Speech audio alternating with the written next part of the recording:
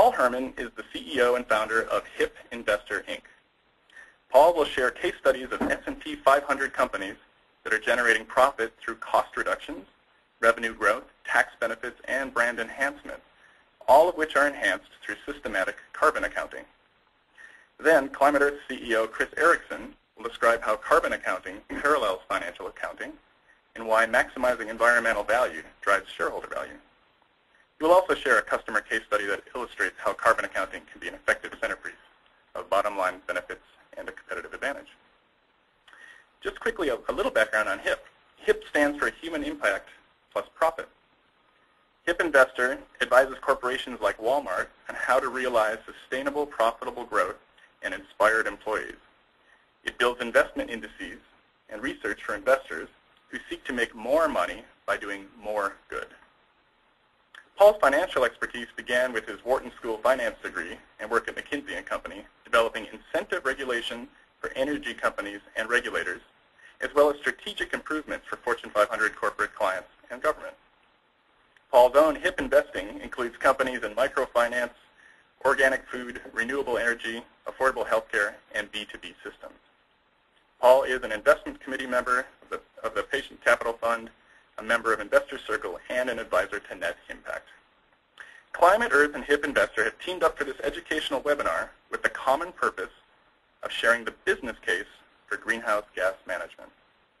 Our topic, Boosting Your Bottom Line by Counting All Your Carbon, is the remarkable backdrop of President Obama's call for legislation to establish a market-based cap-and-trade system. As Paul will explain, organizations that recognize the strategic value of carbon for increased profitability stand to gain a real market advantage. Our presentation is going to take about 40 minutes, and then we will have time for your questions. And now, I'm pleased to introduce Paul Herman. Great. Thanks, Frankie. Good morning, everybody.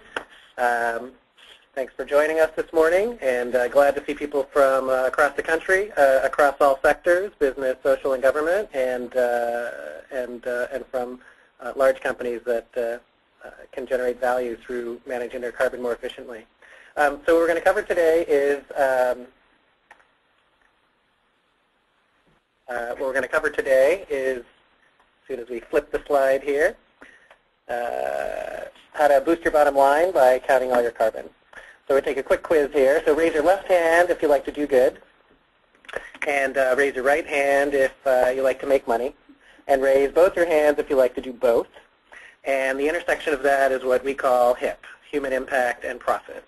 And this breaks down the traditional business view that to do anything environmental or social or that has a positive human impact um, actually has a financial trade-off because that is not true anymore if it ever was. And on a going forward basis, companies that create environmental value will also generate financial value. So uh, why is this important? So these are the sequence of charts here and numbers could be great internally for your business case and especially with your CFO. Uh, my background uh, is in finance, so I'm always thinking about how the CFO or investors or Wall Street will hear this. So on the customer side, this is from a Cone survey. Um, done over the past few years, uh, more than two out of three customers want to do good with their with their buying, with their purchasing dollars, and half will not buy a product if they don't uh, don't perceive that it's good. And since more than a third of customers will tell a friend if it's good or bad, uh, delivering good products will spread fast. And from on the investor side, two-thirds of investors, individual investors, seeing doing good as a positive indicator.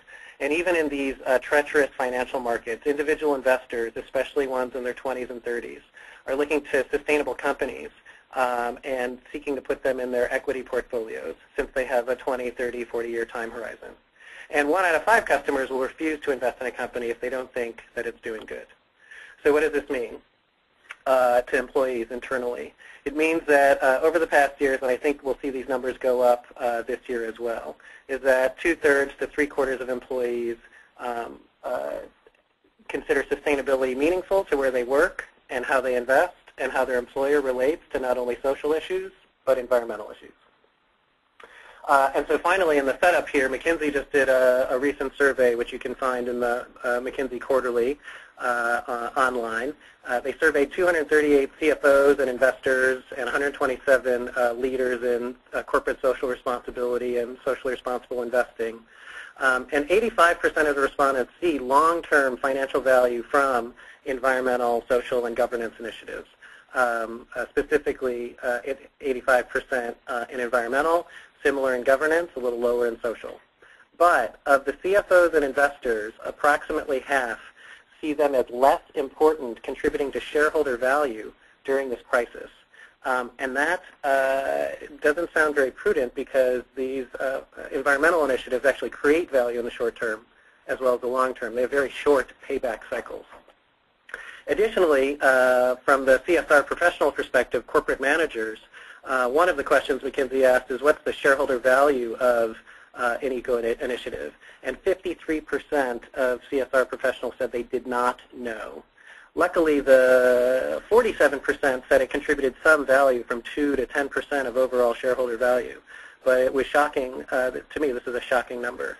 And then finally, a small proportion, about 1 in 7 out of current CSR managers, actually prioritize charitable giving as the most important benefit of environmental social governance initiatives, even more than revenue growth. Uh, overall, for companies, they saw brand enhancement and talent management and society's expectations rated higher than hardcore cost reduction and revenue growth.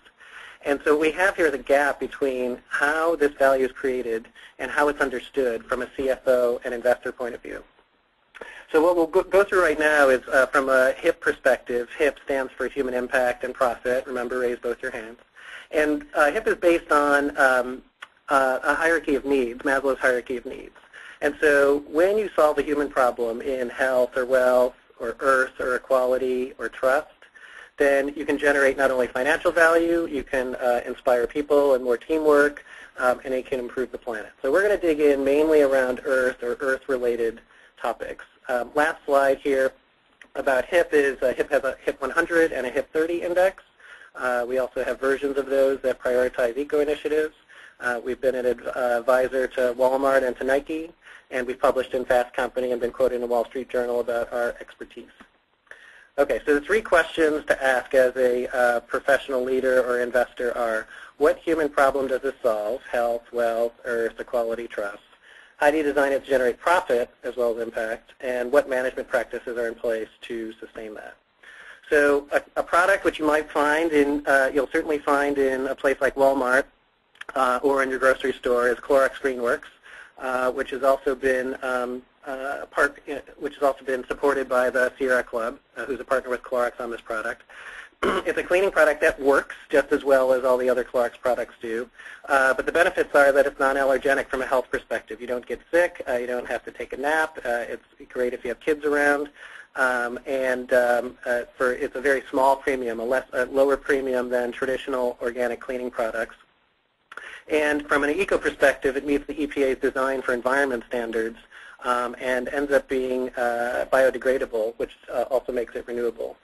So in just over a year, Clorox has doubled the category size uh, for this uh, line of products and has a 42% market share in that. So they haven't necessarily stolen share from products like Method. They've doubled the category, leading to $200 million in annual sales. So obviously, environmental value drives financial value. Here in Silicon Valley, in California, um, Sun is uh, leading the way from a Earth perspective on saving both money and carbon with its green data centers. So technically, it's enabled uh, virtualization to do compute, uh, computer power sharing and, and processing across multiple servers Physically, as you can see from the photo here, the servers have been placed for energy efficiency as they generate heat and require ventilation. Uh, some data centers have implemented energy sensors, so they've cut their servers by uh, about 40% here, not only eliminating carbon and the associated future cost of carbon, but they've avoided 9 million bucks plus in constructing new data centers. The payback is less than three years. Again, a short-term, attractive payback. Um, and PG&E, the utility, has paid a million dollars in incentives. Again, environmental value driving financial value.